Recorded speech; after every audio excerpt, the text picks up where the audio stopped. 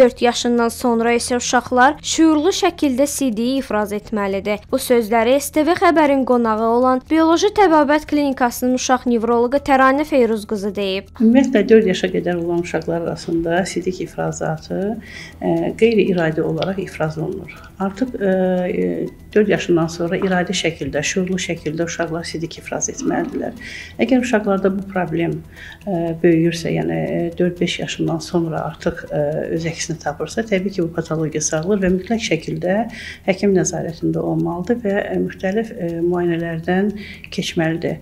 Ə, müayinələr deyərkən ən əsası uşaqlarda elektroensefaloqramma, qanda qan analizi, qanda şəkərin miqdarının təyini, eyni zamanda böyrəklərin müayinəsi təbii ki, uroloqlar vasitəsilə e, müayinə olunur və e, tam e, müayinə apardıqdan sonra diaqnoz qoyulursa, artıq bu bir xəstəlik kimi enurez xəstəliyi, yəni sidik qaçırma ə, xəstəliyi kimi, yəni belə deyim ki, valideynlər üçün daha aydın olsun, yəni ə, müalicəsi aparılır.